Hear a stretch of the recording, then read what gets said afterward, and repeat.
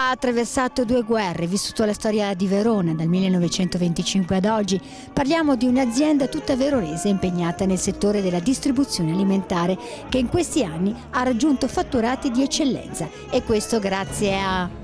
soprattutto non bisogna dimenticare la nostra storia e le nostre origini, che sono quelle che ci possono portare avanti. Non c'è niente da fare, quella è la nostra possibilità di portarci avanti, la storia. Bisogna conoscerla, non bisogna dimenticarla. Questo posso dirti. 90 anni non sono pochi e di sicuro segnano un esempio per l'intera città. La cosa bella è la tradizione familiare perché sono più generazioni che hanno continuato, quindi hanno trasmesso di padre in figlio la stessa passione per il lavoro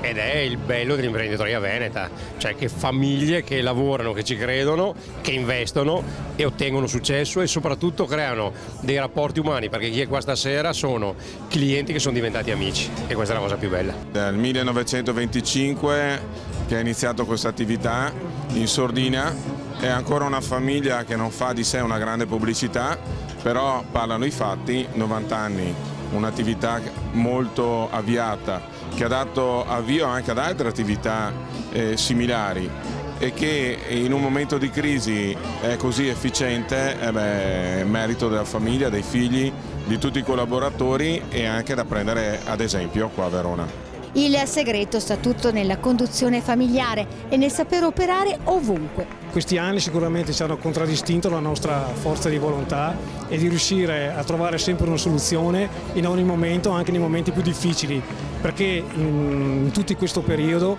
ne abbiamo viste di tutti i colori, però siamo riusciti a rimanere a galla perché abbiamo sempre avuto la fortuna e l'abilità di trovare il canale giusto per eh, sopperire alle mancanze e riuscire a fare i fatturati.